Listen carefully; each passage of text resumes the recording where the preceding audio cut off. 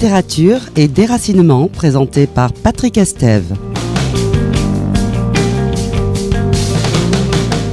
Chères auditrices et auditeurs, bonjour. Aujourd'hui, nous allons parler d'Albert Camus et de la pensée de midi, et non pas du midi, comme on l'entend parfois. Ne nous trompons pas. Pour parler de la pensée de midi, il nous faut remonter le temps et aller dans les senteurs de genêt blanc de Tipaza, à 70 km à l'ouest d'Alger, alors département français. C'est là, dans le dénuement des ruines romaines des lieux et de sa condition de pied noir pauvre du quartier de Bellecour, que la pensée de midi a jailli de l'imaginaire de Camus, comme une vague venue de loin, avec à sa cime des références philosophiques et littéraires telles que Jean Grenier, Friedrich Nietzsche, les Grecs et René Char. La pensée de midi est une verticalité doublée d'une horizontalité dans son rapport à autrui. Elle apparaît comme une échappée pour donner sens à chaque existence, dans une invitation à la libération de soi, d'où qu'on vienne, que l'on soit riche ou pauvre, car la seule condition pour y accéder, c'est justement d'accéder à la révolte intérieure, afin de briser les entraves qui empêchent de laisser prise au monde. Il s'agit d'un défi lancé à un monde qui est absurde, c'est-à-dire un monde qui aurait pu ne jamais exister. Camus plante le décor de la pensée de midi, entre la terre et un ciel inhabité, tous deux joints par une ligne d'horizon dans un espace à trois dimensions où l'homme existe en communion avec les autres espèces vivantes et plus globalement avec le cosmos. C'est un homme en mobilité intérieure et en mouvement, avec le goût de la vie à la bouche, les cinq sens tournés vers la beauté du monde comme autant de noces dont Tipaza est l'origine. Je comprends ici ce qu'on appelle gloire, écrivait Camus, depuis la baie de Tipaza, pendant qu'il regardait la mer Méditerranée avec au cœur ce qu'il nommait le droit d'aimer sans mesure.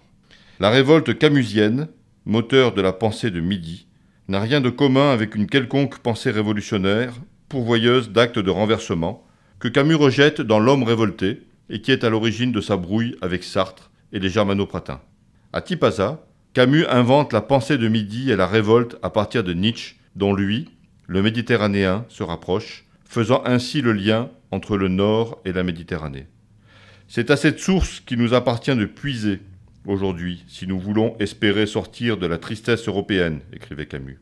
Avec la pensée de Midi, Camus focalise sur les hommes et leur histoire et cherche à Midi, moment de pleine et haute lumière, l'équilibre entre l'homme et le cosmos pour l'extraire des déterminants personnels et du poids dans l'histoire des charniers produits par le nazisme et le stalinisme de la destruction des Juifs d'Europe, des meurtres de masse, du dévoiement de l'idée de civilisation pour la conquête. Autant d'actes qui obscurcissent la conscience européenne du XXe siècle et rend difficile de s'autoriser un avenir. Camus n'a jamais renoncé à vivre et c'est bien de noces avec la nature dont il est question à Tipaza. L'homme d'aujourd'hui, qui rit de sa révolte en sachant que cette révolte a des limites, qui exige la liberté et subit la nécessité, cet homme contradictoire, déchiré, Désormais conscient de l'ambiguïté de l'homme et de son histoire, cet homme est l'homme tragique par excellence, disait Camus lors d'une conférence à Athènes en 1955. La pensée de Midi n'est ni un slogan, ni une idéologie, mais c'est un rappel à la liberté et à la libération de soi.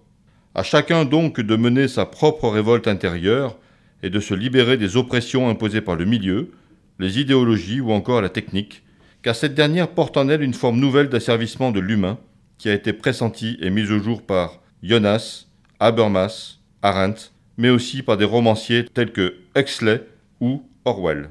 Avec la fin de la Seconde Guerre mondiale et l'explosion de la bombe atomique, Camus considérait que la civilisation mécanique venait de parvenir à son dernier degré de sauvagerie. Il va falloir, écrivait-il, choisir dans un avenir plus ou moins proche entre le suicide collectif ou l'utilisation intelligente des conquêtes scientifiques.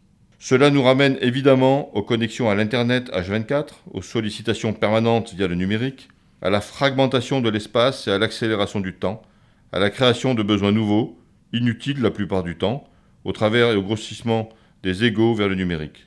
À la chasse aux Pokémon, par exemple, qui démontre aujourd'hui le niveau atteint par la technique à interagir sur des conditionnements humains, autant de répercussions face auxquelles la pensée de midi reste d'une étonnante actualité.